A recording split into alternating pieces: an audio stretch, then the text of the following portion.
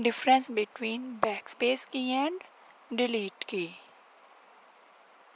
backspace key it is use to erase character typed on left side of cursor backspace key हम तब use करते हैं जब हमने कर्सर की लेफ़्ट साइड पर वर्ड्स को इरेज करना हो।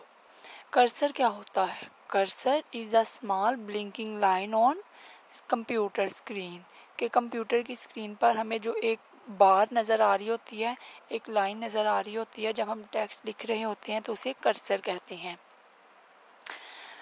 Delete key. It is use to erase character type on right side of cursor delete key हम तब यूज़ करते हैं जब हमने वर्ड्स को राइट साइड पर इरेज कर